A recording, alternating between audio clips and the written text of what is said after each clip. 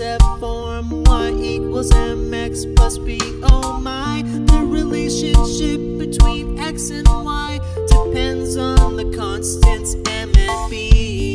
M you see is the value of the slope, so a higher m means a steeper line. B is the y intercept where the line crosses the x.